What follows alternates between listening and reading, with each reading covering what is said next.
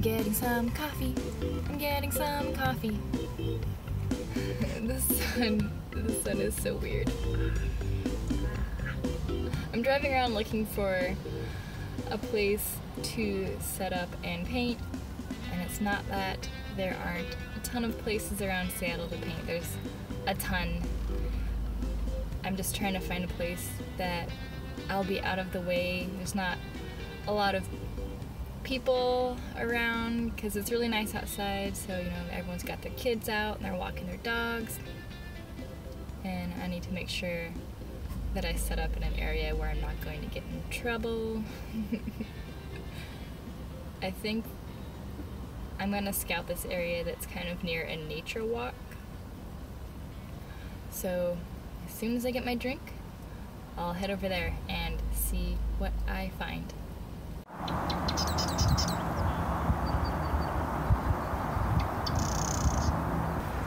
Maybe I can set up right here. I like this. I like it a lot. Hello, fellow creatives! Thanks for joining me on my plein air adventure today.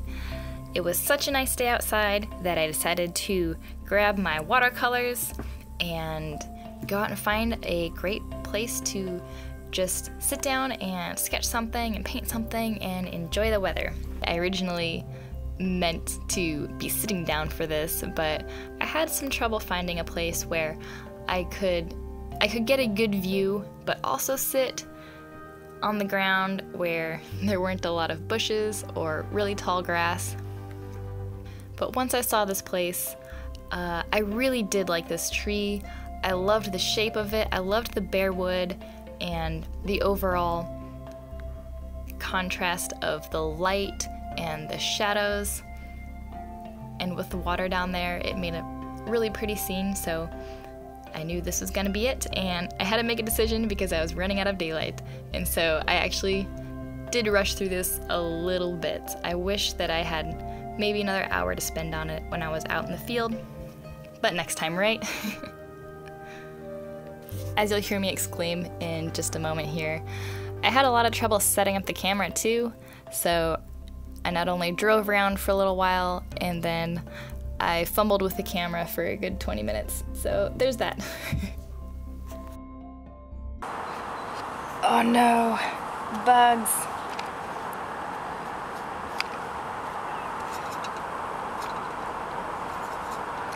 Gather round and watch me paint the fastest plein air ever as I lose light. Because of my inability to set up a camera.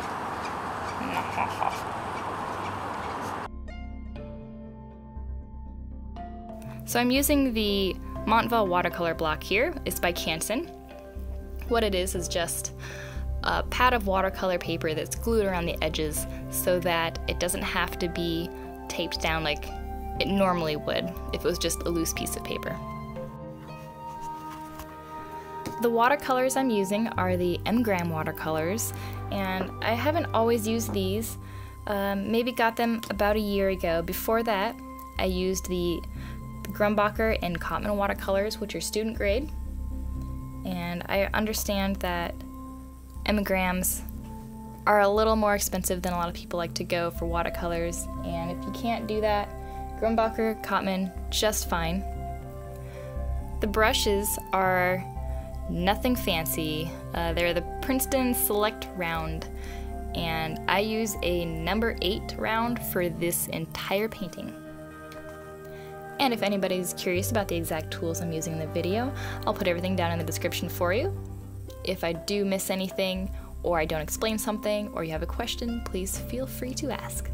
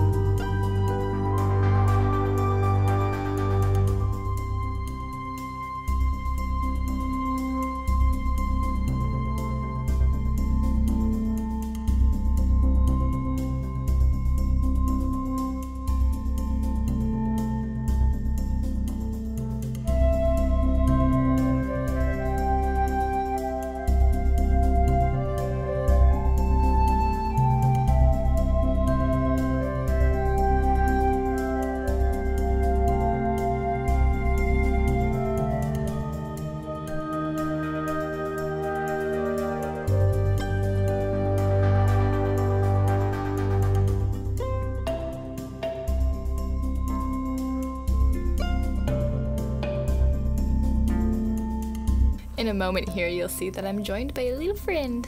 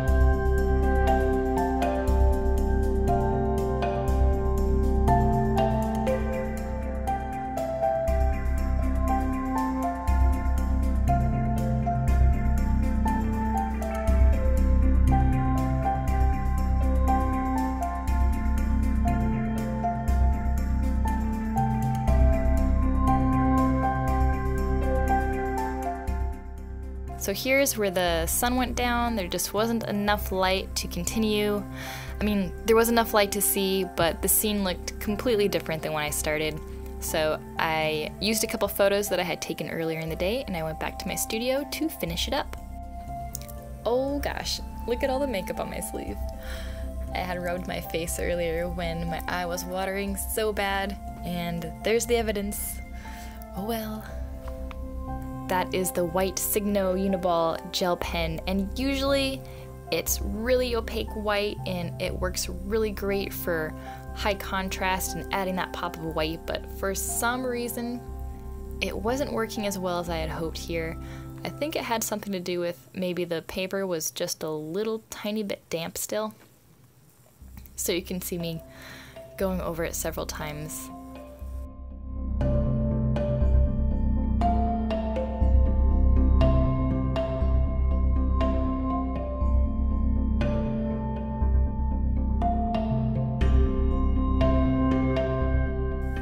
So here I'm just trying to brighten up the sides of the branches where the sun was hitting them the most.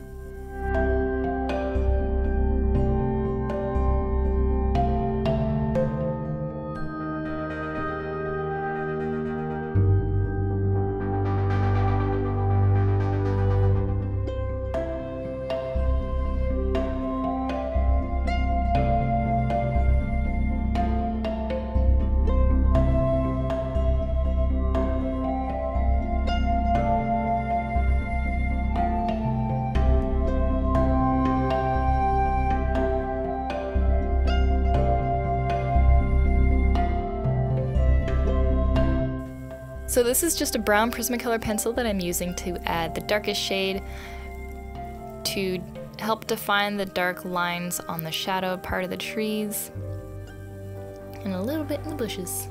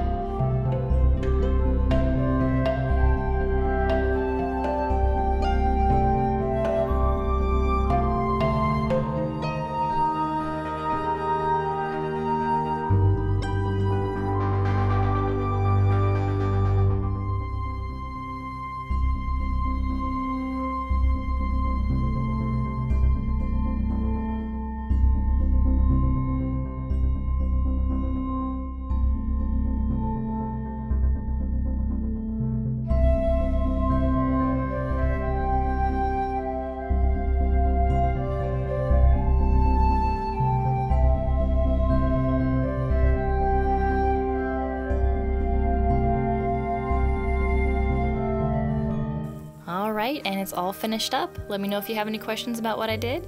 And thanks for watching. See you next time.